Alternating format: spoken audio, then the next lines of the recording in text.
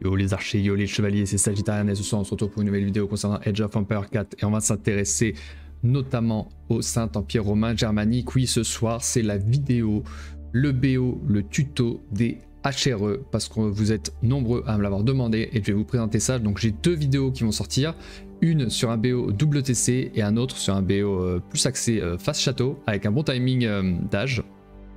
Donc je vais tout vous expliquer également sur la cive, les spécificités, on va voir la cive de A à Z, euh, le gameplay, le BO, le tuto, donc le chemin de pensée euh, pour euh, avancer et progresser avec cette utilisation. Et j'espère que cela va vous plaire. On est parti les potes.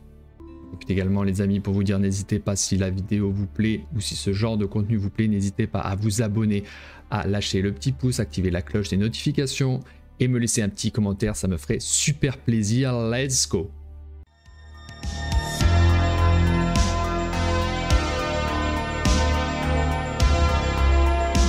Concernant les statistiques au niveau du HRO, ce qu'on peut voir encore une fois au niveau du euh, ranking ENI, donc c'est-à-dire tout euh, level confondu, je ne parle pas de conquérant, diamant, platine et gold, donc c'est vraiment à tout niveau, le HRE est plutôt bien placé en quatrième position avec 50,2% de win rate, c'est une cible qui est plutôt euh, jouée, hein. saison 3 avec plus de 100 000 games, et c'est une cible qui se débrouille très bien contre des cibles qui mettent un peu plus de temps à se développer parce qu'elle a euh, un potentiel de, passage d'âge assez rapide. Vient un peu plus compliqué contre des cibles très agressives, notamment contre mongols et français. Et euh, cela, euh, on peut voir, devient de plus en plus compliqué quand le niveau augmente. Vous voyez ici, 48%, on est un peu dans le rouge. On est un peu dans le rouge encore à diamant. Et un conquérant, c'est encore un peu plus difficile, mais ça reste une cible très très forte du moment que vous savez la maîtriser. En fait, elle est difficile un peu à maîtriser, à prendre en main. C'est une cible de niveau euh, difficulté intermédiaire. Mais plus vous la prenez en main et plus elle devient très compliquée parce que les adversaires, surtout à tout niveau, vont avoir du mal à vous attaquer. Et euh, le HRO dispose de très bonnes capacités de contre-attaque. Donc c'est une cible qui, euh, qui est plutôt, plutôt forte, plutôt ok. Ça a toujours été fort dans la méta actuellement. Je vais maintenant vous parler des spécificités de la civilisation. Donc le HRE est une civilisation basée sur le boost économique et militaire via les prélats qui disposent de puissantes unités d'infanterie. C'est une civilisation capable de se remettre rapidement des agressions et donc de déployer de fortes contre-attaques. Au niveau militaire, le Saint-Empire romain germanique dispose d'une infanterie puissante que ce soit les hommes d'armes, les piquets, mais également et surtout les lance qui sont des unités uniques pardon, qui infligent d'importants dégâts de zone.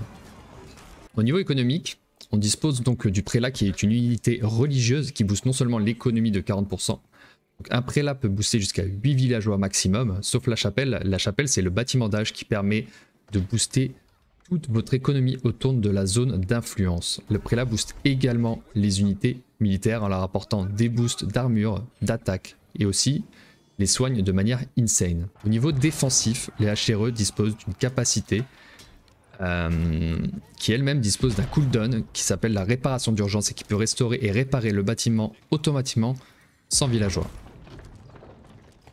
Au niveau technologique et religieux, la cive tire sa puissance également des reliques, que ce soit dans les postes avancés, les tours, les donjons ou même dans la cathédrale de Renitz. Elle augmente non seulement du coup l'économie de la civilisation, mais aussi les caractéristiques défensives des bâtiments.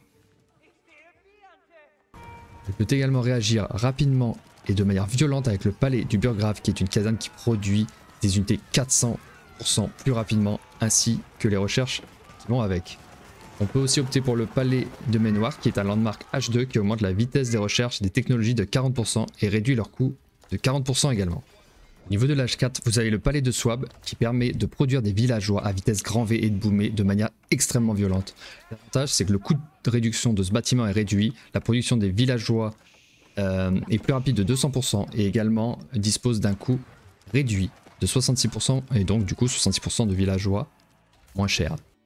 Vous avez également le palais d'Elsbach quant à lui qui est un donjon qui dispose de 50% de santé supplémentaire et réduit les dégâts subis des bâtiments aux alentours de 33%. C'est vraiment un, un, landmark défensif. Au niveau des forces de la civilisation, donc on a la possibilité du coup de survoler les âges très rapidement. C'est une civilisation qui est très difficile à attaquer, qui a un gros boom économique, une fois que vous savez vous défendre, elle réagit très bien en contre-attaque. Elle dispose d'une infanterie très puissante et donc elle dispose de gros boosts finalement militaires et économiques. La faiblesse c'est que c'est une cible qui n'est pas forcément facile à prendre en main, c'est une difficulté intermédiaire, il faut donc un minimum de connaissances pour bien se défendre. C'est une cive qui a des difficultés également contre les cives agressives. Il faut garder son sang-froid et elle a tendance à laisser surtout le map control en early game. Ok les gars, on est parti avec le BO, le tuto HRE et ici le BO c'est un BO double TC en 5 minutes. Oui, vous avez bien entendu 5 minutes, c'est totalement insane. Et on joue ici Vipani et contre ton adversaire qui joue Daily. Et on va passer euh, du coup, euh, on va voir le chemin de pensée ici. Le but c'est d'avoir double TC, de pouvoir agresser l'adversaire assez rapidement avec des hommes d'armes et une bonne prod et une bonne économie derrière.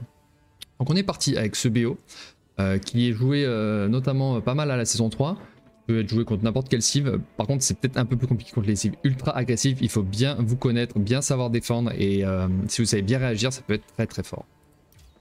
Donc ici, ce qu'on va faire, c'est qu'on va partir avec 6 euh, euh, villageois sur le mouton. On en prend 3 et on va les mettre à l'or. On va faire une maison, on va les mettre à l'or. Donc ça fait 3 à la nourriture, 3 qui font une maison et 3 à l'or. Ça fait 3-3.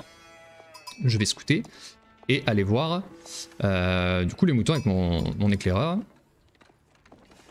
Et après, je vais aller à la nourriture jusqu'à 9. Donc si vous pouvez, il faudra penser à faire une petite rota, euh, juste quelques secondes, histoire de booster les trois villageois alors. Donc on va aller scouter. J'accélère un peu. Donc on est sur l'Ipania, hein, je répète, contre un, un délit. Donc là, le délit, c'est je sais qu'il va jouer les sites sacrés. Encore une fois, le BO WTC, il faut s'adapter. Moi, je vais jouer le BO WTC, mais là, plus agressif. Si je joue contre un anglais ou un français, et eh bien euh, si c'est un français, je vais peut-être faire une caserne après mon double TC ou avant mon double TC surtout pour pouvoir me défendre contre les agressions des chevaliers. Si c'est contre un anglais, je vais faire une, de la cavalerie light, donc avec une écurie pour me défendre contre l'anglais et m'adapter avec les bâtiments. Et il faut savoir quand vous avez l'avantage pour pouvoir passer l'âge surtout. Donc on continue, vous voyez les villageois pour l'instant, je les booste à la nourriture.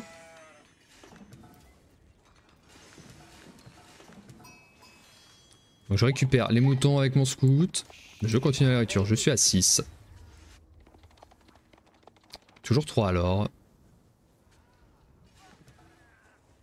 Et là je vais rota un peu le prélat juste histoire que mes 3 villageois aient le, le boost. Vous voyez, je booste les 3 et je vais revenir à la nourriture. Je reviens à la nourriture. Je suis à 9 à la nourriture.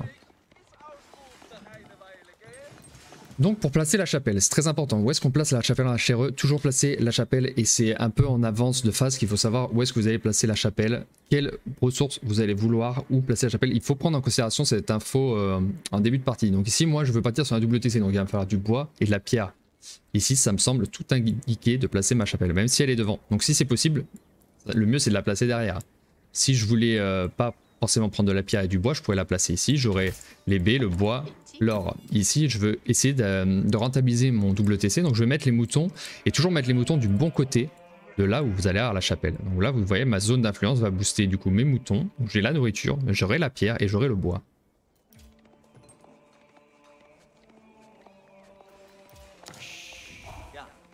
Donc voilà, j'ai mes 9 villageois à la nourriture et j'ai mes 3 villageois à l'or. Là, je vais commencer. Je vais, commencer à rallier au bois. Et je vais passer mon âge. Très important. Je vais en prendre 3 de l'or et 6 de la nourriture. Ça va me faire 9 pour passer l'âge. Donc on passe l'âge très très rapidement et on va avoir son TC très rapide. 5 minutes. 5 minutes, on pose le deuxième TC. Donc la nourriture, vous pouvez presque en laisser 3. Parce que le prélat boosté, euh, normalement c'est 4 le minimum, mais 3 avec HRE ça passe. Vous voyez, j'en laisse 3 à la nourriture. Je vais passer mon âge avec 9. En attendant, je rallie au bois. Et je vais faire une rota avec mon prélat. Hein. Faut pas hésiter à rota. Avec le prélat, le prélat peut booster jusqu'à 8 villageois. Donc c'est dommage de rester sur 2 villageois. Autant aller booster un peu euh, ici la nourriture. Et une fois que vous avez boosté, vous pouvez même booster un peu les villageois ici qui, quand ils auront terminé, auront le boost économique pour aller euh, récolter la les ressources tout de suite. Donc je vais jusqu'à 3 au bois.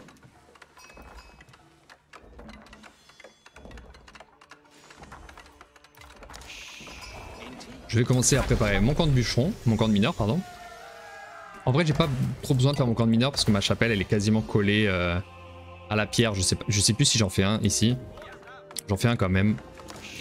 Et après, très important, donc une fois que vous avez passé l'âge, c'est au moins 6 au bois, 6 à la pierre et 8 au bois, 6 à la pierre. Et une fois que vous avez 8 au bois, 6 à la pierre, vous commencez à reprendre de la nourriture.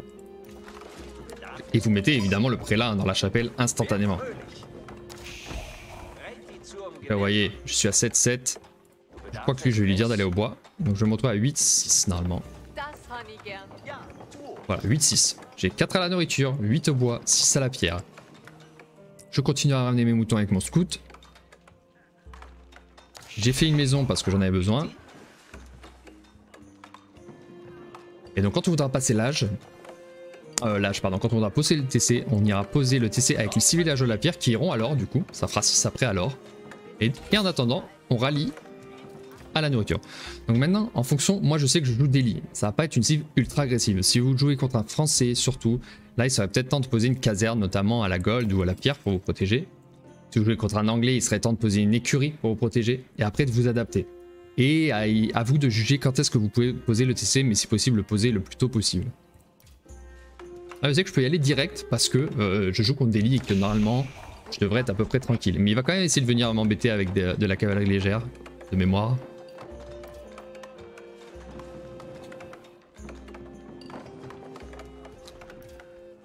Et donc là, 5 minutes. 5 minutes, j'ai posé le deuxième TC. 5 minutes, les amis. C'est à peu près, à peu près le, timing que vous devez avoir. Par contre, euh, alors des fois, vous n'aurez pas la possibilité de poser 5 minutes parce que vous n'aurez pas toujours la pierre et le bois dans la range de la chapelle. Mais vous pouvez le faire en 5 minutes. Et donc maintenant, vous ne bougez plus. C'est 8 bois, vous ne bougez plus. Maintenant, c'est nourriture. Après, le TC, vous gérez nourriture et or. Et les 8 bois vous permettront de vous adapter. Donc vous pourrez faire quelques fermes, vous pourrez faire des maisons, vous pourrez faire des bâtiments de prod, une forge. On va faire rapidement un moulin avec euh, la brouette pour avoir une bonne économie sur 2 TC. Vous voyez, là, 2 TC qui vont mettre des belles fermes tout autour de la chapelle, ça va être magnifique. Donc là, je vais poser le moulin pour préparer euh, la brouette.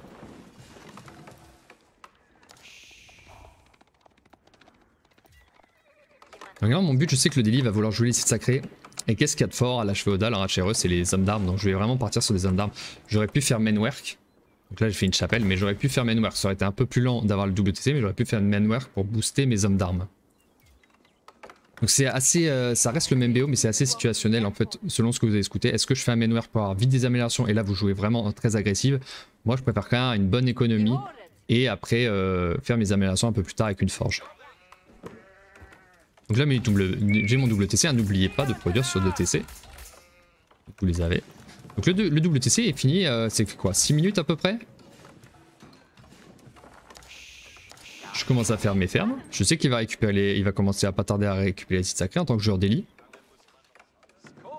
Il va me scouter, je commence à faire des fermes aussi avec le bois en excédent. Et là il vient avec la cavalerie, alors c'est pas trop grave, je reste dans la range de mon forum.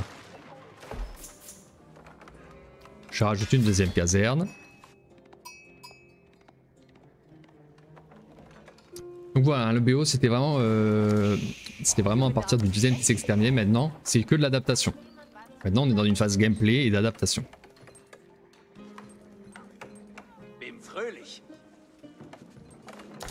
J'ai toujours mes 8 villageois au bois.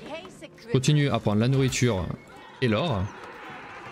Bien embêté, mais bon, ça va aller. là, il a de la chance parce qu'il me bloque des villageois. Donc je vais perdre un villageois ou deux. Il a, il a de la chance un peu sur ce coup-là de me bloquer directement. Et là, je commence à sortir des âmes d'armes et je mets une forge. Je devrais avoir déjà recherché la boîte hein, normalement. Là, j'ai traîné un peu. Et que le but, c'est d'avoir beaucoup de fermes du coup autour de votre chapelle qui booste tout ça. J'essaie de me débarrasser de son éclaireur.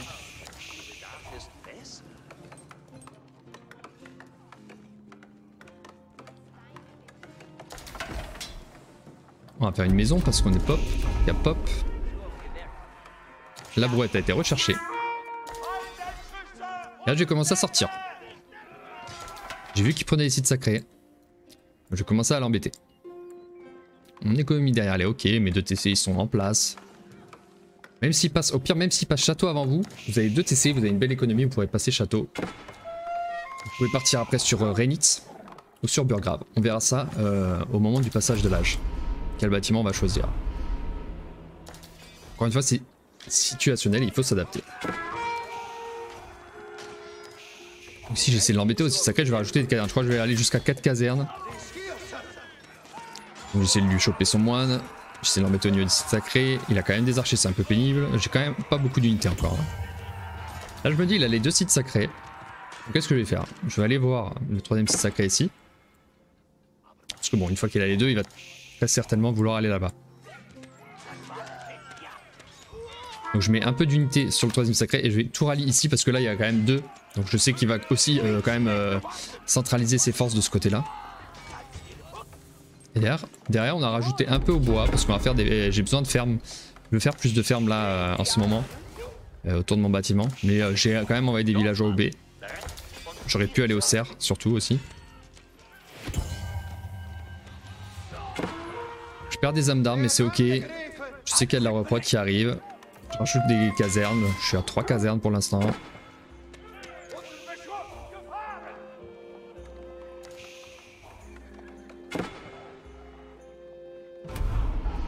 Je commence vraiment à avoir une petite armée sympa. Et surtout faire les améliorations de défense des flèches, là, que je vois qu'il y a des archers, donc défense des flèches.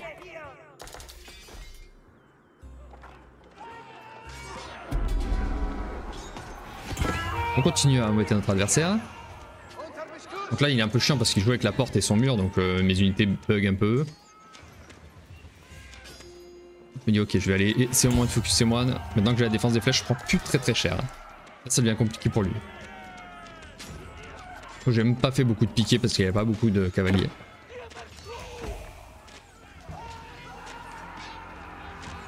Donc là je spam, je spam, je spam, j'ai rajouté une caserne. On est toujours à trois casernes.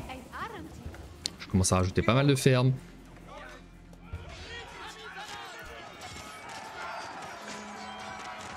Là je sens que ça commence à être compliqué pour lui, il essaie de, me kite mais euh, je prends plus beaucoup de dégâts, je commence à avoir beaucoup beaucoup d'hommes d'armes. Je rajoute ma quatrième caserne, je continue les améliorations. Je continue à faire des fermes autour de ma chapelle. On a un bel espace ici. Vous voyez si vous pouvez éviter donc de faire des maisons dans la range, là je les ai fait euh, aux alentours. Bon celle-là c'est dommage, j'aurais pu, euh, j'aurais pu laisser un peu d'espace encore pour vraiment rajouter des fermes ici entre les deux TC, ça aurait été magnifique. Donc ici compliqué pour lui. Je continue à prendre les, les sacrés là, je mets un, homme d'armes sur les six sacrés. Et là il va être coincé. Là il va commencer à être coincé entre tous mes hommes d'armes qui arrivent, il va plus savoir quoi faire. Et là je sais que je les clean, je sais que je suis bien, j'ai mes deux TC. Regardez mon économie. Je pourrais toujours sur mes deux TC. Je fais des fermes. Je décarte tous les sites sacrés. Je vais aller chercher celui-là que j'avais oublié.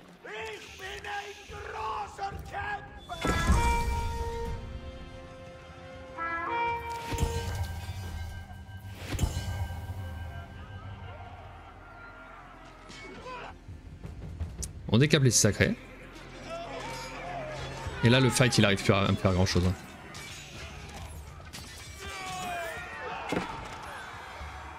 Donc là le full homme d'armes fait très très mal. Donc à penser j'aurais pas fait full homme d'armes parce qu'il a de la cave lourde, donc j'aurais plutôt fait des piquets. Et euh, s'il avait fait des RC, j'aurais fait en plus de la cave light. Hein. Toujours à vous adapter à l'armée de votre adversaire. Oui, il était parti sur tour de la victoire apparemment. Vous avez vu les fermes là, c'est presque parfait. J'ai quelques bâtiments dedans, mais sinon c'est nickel.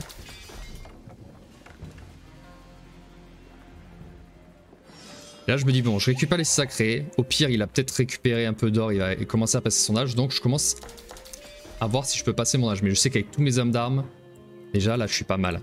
Et au niveau armé, je suis pas mal pour l'embêter. Donc, je vais essayer de l'embêter un peu encore sur sa gold. Il passe ça. Je me dis, c'est pas grave. Il a plus de site sacré. Il a plus de gold. Moi, j'ai énormément de villageois par rapport à lui. J'ai une armée euh, plutôt conséquente. Et donc aussi quand vous jouez à Chereux, pensez bien à scout la map il faut que vous sachiez où sont positionnés les 5 reliques. Très important pour savoir où est-ce que vous allez envoyer vos prélats.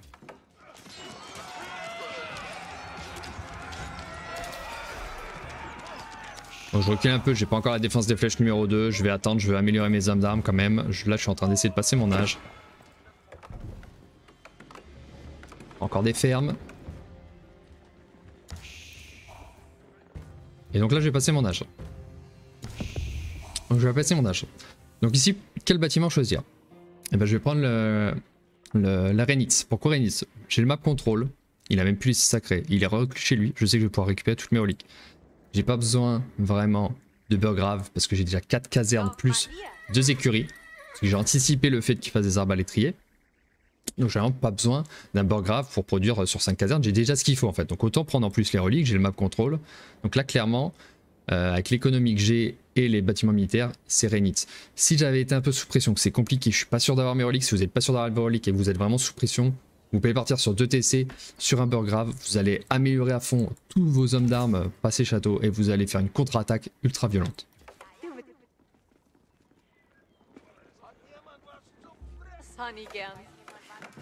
Donc là je continue sur mes 2 TC, donc ouais j'ai prévu euh, le fait euh, qu'il avait peut-être fait des abats, donc j'ai prévu les écuries. Donc là j'ai deux TC, hein. j'ai mis 18 villageois. Si j'avais qu'un TC, généralement vous pouvez passer la château avec euh, entre 8 et 10 villageois. Généralement on aime le passer assez rapidement l'âge des châteaux. Donc je passe mon âge, pendant que je passe mon âge j'ai envoyé des prélats aller chercher reliques, j'ai récupéré instantané ou quasiment instantané, j'en ai déjà deux. Du coup j'ai vu qu'il avait une gold aussi dans le bac. Je vais aller voir, je sais qu'il prend de l'or ici très probablement, oui. Je me suis pas trompé. Donc derrière, je passe château, je fais l'amélioration des hommes d'armes. J'ai beaucoup à la nourriture, hein. donc là il faut faire amélioration aussi horticulture. Au niveau des fermes. Il m'embête un peu, mais rien de, rien de violent. Là je sais que c'est compliqué pour lui, je vais lui en envoyer dans, tous les côtés. J'ai de l'armure, tant qu'il a pas d'arbalétrier, il n'y a que ça qui peut embêter les arbalétriers. Et s'il fait des arbalétriers, je vais faire beaucoup de cavalerie légère. Je récupère un max de reliques, je vais même prendre les sites sacrés. Si je sais faire un hololo, mais bon. Je vais le perdre. Mais là, il a idle dans tous les sens. Très très compliqué pour lui.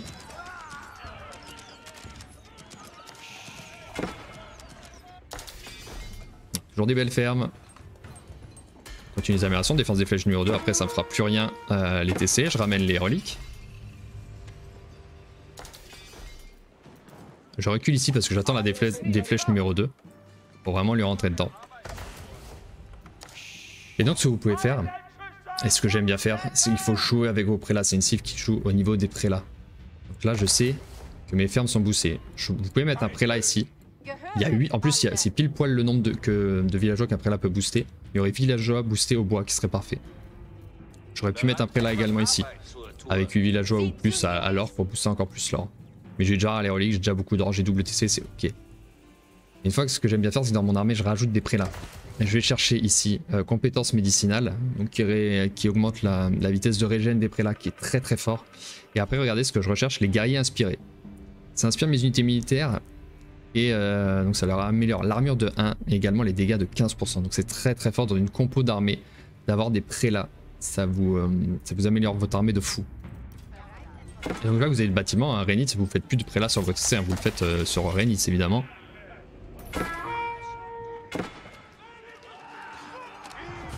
Et là j'y retourne, j'ai la défense des flèches numéro 2. Là je ne crains que les arbas. Ou la cavalerie lourde mais il est pas parti là-dessus.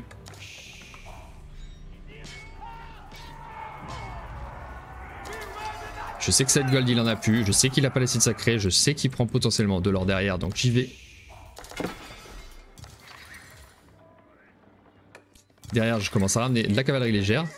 Que oui, des arbas. Je commence à faire aussi des lance pour faire un peu de dégâts de zone. Il vient m'embêter un peu avec ses archers. Enfin, le, mais je me fais pas Et surtout, oui, dès que vous avez, euh, que vous commencez à avoir au moins 2-3 reliques, commencez à faire potentiellement un marché. Parce que si là, je vais avoir le map control, je vais avoir les sites sacrés, je vais avoir beaucoup d'or. Il va falloir que je trade pour équilibrer mon économie. Et donc là, je vais l'empêcher sur son or. Au niveau des techs, j'ai été rechercher euh, l'arme à deux mains et pas l'arme lourde. Pourquoi? Parce qu'il a que des archers.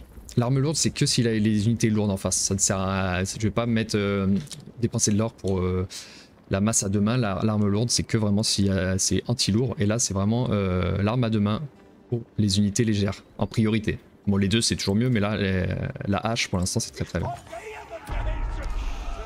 Je récupère les 6 sacrés, vous avez récupéré les reliques. Et là, je vais l'attaquer sur deux fronts. Je suis aussi dans son économie ici. Il est un peu dans le... Dans la merde. Je vais voir les ressources, je perds pas de temps sur ces bâtiments, je vais voir les ressources que je peux prendre, l'idle que je peux lui mettre. Et derrière, vous avez vu, j'ai les ressources. Hein. En plus de l'agression sur 2TC, j'ai les ressources, je pars sur palais de swab. Palais de swab qui coûte moins cher. Hein, au niveau des landmarks H4. Généralement, je le mets près du bois. Ou près d'une gold. J'ai fait un peu de report pour me défendre. Et là, bah, il peut plus rien faire. Hein. Beaucoup trop, hein. beaucoup trop chez lui. Ses archers me font rien, son TC me fait rien, je suis tranquille, je ramène partout, je prends les sacrés derrière, je prends les reliques.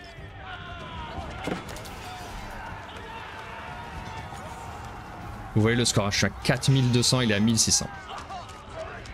Il s'est fait manger, totalement il s'est fait manger.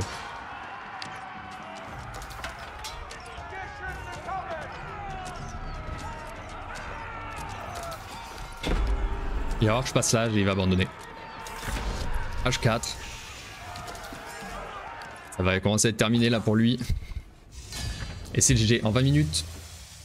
H4 avec grosse pression WTC. Et surtout le TC, les potes, à 5 minutes. C'est insane. Donc j'espère que ce BO vous aura plu. C'est très très fort comme vous pouvez le voir. Euh, là en plus j'étais tranquille, j'étais pas agressé. Quand vous êtes agressé c'est un peu plus compliqué. Il faut être euh, assez vigilant. Il faut avoir une bonne connaissance du jeu pour pouvoir vous adapter et pouvoir euh, contre-attaquer. Donc voici pour le BO WTC HRE 5 minutes. Ok les amis, donc maintenant on va voir au niveau des match-up du HRE. Donc quels sont les bons match-up? Les match-up c'est à peu près ok, les mauvais match-up. Donc au niveau euh, des cives, donc on choisit HRE, pardon. Et donc Mongol. Mongol pour moi ça fait partie des match-up compliqués. Euh, plutôt mauvais match-up je dirais parce que le Mongol va essayer de vous tour rush. Euh, selon certaines maps et surtout la méta actuellement, les maps sont plutôt open. Et donc il y a beaucoup d'angles où ils peuvent mettre des tours et cela peut vous retarder. Et également, euh, ils peuvent trade à côté. Et euh, cela peut être vraiment euh, compliqué pour la HRE. Si vous avez à défendre, c'est ok, mais ça reste un match-up plutôt difficile. Très bon match-up ici, Delhi. Comme vous l'avez vu sur la vidéo, Delhi met du temps à se développer. Il prend les sacrés, mais vous pouvez le contrer avec des âmes d'armes. Vous avez une armée ultra puissante et d'équipage château, ça devient compliqué pour lui. Et quand vous passez château également, je veux dire. Du coup, plutôt bon match-up hein, contre Delhi. On va regarder maintenant les Anglais. Les Anglais, pour moi, c'est. Avant, c'était un bon match-up. Et maintenant que depuis qu'il y a eu les nerfs aussi, où les archères ont moins de portée, ça va compliqué de se défendre euh, contre Anglais avec des tours. Ils arrivent toujours à trouver un angle aussi pour vous emmerder. Et du coup, ça peut devenir assez compliqué dès lors qu'ils commencent à vous prendre des villageois, que vous avez du mal à sortir s'ils commencent à, avoir le map control et prendre à mettre ses archers sur les reliques et que vous avez du mal à, à sortir. Donc il faut potentiellement faire un beurre grave. Et à la fois, si vous arrivez bien à vous défendre, l'anglais va se faire rouler dessus s'il a all-in. Et c'est ce qu'ils font souvent, euh, au moins jusqu'à conquérant. Donc c'est un match-up qui est assez équilibré. Euh, donc ensuite, on va se concentrer au match-up ottoman. Pour moi, le match-up ottoman, c'est plutôt également un match-up even. Donc c'est euh, les ottomans sont assez agressifs. Donc ça peut être assez compliqué. Hein. La HRE, ça aime pas trop les cives ultra agressives. Il faut arriver à bien se défendre. Il faut bien connaître le jeu, bien connaître sa cive. Mais euh, ils ont un petit timing où les Ottomans c'est agressif, ça devient très agressif avec le temps, mais c'est pas ultra agressif, ultra ultra early. Et donc vous avez le temps de passer le château et potentiellement faire des armes et, le, et, devenir très pénible du coup pour l'Ottoman. Donc c'est un match-up qui est assez équilibré également. On a également euh, pour moi français. Français ça a toujours été considéré comme un mauvais match-up pour HRE parce qu'il contre très tôt avec la cavalerie lourde. Vous allez faire des piquets mais il va faire des archers, il va falloir vous défendre aussi avec des tours. Euh, si c'est une map open, il va falloir vous défendre dans tous les sens. Et ça devient compliqué. Mais à la fois, si vous arrivez bien vous défendre, vous pouvez faire également une bonne contre-attaque. Donc c'est un mauvais match-up, mais c'est pas un match-up euh, rédhibitoire vous pouvez pas gagner. Euh, notamment avec 2 TC, si vous arrivez à vous défendre avec beaucoup de piquets et beaucoup de cavalerie légère, vous pouvez lui retourner la game et vous passez château et vous lui rentrez dedans avec des, âmes d'armes lourds. Ils aiment pas ça généralement comme ils ont beaucoup d'archers. à un moment, les Français, s'ils ont été très agressifs au niveau château, ils vont se rouler dessus. Donc euh, mauvais match-up, mais encore ça peut être jouable. Euh, bon match-up. Bon match-up également euh, contre Chinois. Je dirais. parce que vous pouvez partir 2 TC, si 2 TC aussi. vous aurez un meilleur timing dash si vous faites 1 TC. Vous avez potentiellement des bonnes unités, mais c'est un bon match-up, mais pareil, c'est pas un match-up, c'est free win, c'est un match-up où les Chinois, ils ont 2 TC, ils peuvent boom quand même, ils peuvent bien s'en sortir. Mais euh, plutôt bon match-up au niveau des timings, je dirais, euh, pour le HRE. Et donc ensuite on a Abbasid. Donc Abbasid c'est plutôt euh, C'est tricky comme match-up, c'est un mauvais match-up et un bon match-up à la fois. C'est qu'il va pouvoir vous embêter, euh, malgré son OTC, vous aurez un peu de cave légère et un peu d'archer euh, chameau. Et c'est pour ça aussi que Mongol c'est compliqué, hein. les Mangodai ça fait très très mal contre les HRE et les archers sur chameau c'est très pénible. Donc ça, peut être compliqué pour vous de trouver les reliques, par contre si vous arrivez à faire des archers ou des tours et à bien vous défendre et à récupérer vos reliques, vous pouvez euh, prendre également l'avantage sur ce civ et généralement contre Avacid je fais également 2 TC. Pour pas prendre trop de retard. On va ensuite parler des Maliens. Le Malien, c'est le pire match-up pour HRE. Et pourquoi? Parce qu'ils passent château aussi vite que vous. Et en plus, ils ont les Garamus Sofadi qui comptent absolument les unités lourdes. Et c'est absolument les unités qu'on aime faire. Et en fait, ces civilisations, donc peut-être pas français, mais Mangodai, on n'aime pas faire des archers HRE. Malien, on n'aime pas faire des archers HRE. C'est vraiment pas le point fort des HRE. Ça nous oblige à jouer avec archer ou arbitrier ou à faire du siège et des mangonos. Euh, on peut pas jouer nos bons vieux hommes d'armes comme on aimerait le faire. Et donc c'est euh, des match-ups compliqués. Ensuite, je partirai sur Russe. Pour moi, Russe, c'est plutôt un bon match-up. Parce que c'est comme français. Sauf que du coup, ils n'ont pas un bâtiment qui permet de sortir de la cave. Donc ils ont de la cave lourde, mais qui est un peu plus late. Ils aiment bien faire 2 TC, mais pareil, c'est un peu plus long qu'avant. Euh, et du coup, vous pouvez euh, aussi bien jouer sur 2 TC que sur un TC contre Russe. Donc pour moi, c'est plutôt, plutôt un bon match-up. Donc ça, c'est équilibré les match-up, on peut voir euh, sur HRE1. Donc voici pour, voici pour tout ce qu'on a vu sur les match-up. Je vous ai tout expliqué, je vous ai tout dit, les amis. Voilà mes archers, mes petits chevaliers, c'est la fin de cette vidéo BO tuto HRE avec double TC en 5 minutes. Vous voyez comme, euh, comme c'est fort, c'est un BO qui est quand même pas mal utilisé euh, sur la méta, sur la saison euh, actuelle, sur la saison 3. Dites-moi ce que vous en pensez, dites-moi si vous préférez, je vous mettrai du coup la prochaine vidéo, ça sera sur le timing face château en HRE. Rainit ou Burgrave. Dites-moi ce que vous en pensez, dites-moi si vous préférez plutôt 2CC, plutôt Château. Dites-moi dans les commentaires euh, ce que vous en pensez. Je réponds à tous les commentaires, les amis. J'espère que cette vidéo vous a plu. J'espère que vous allez pouvoir progresser avec cette civilisation. Je vous embrasse. Vous êtes les bestes.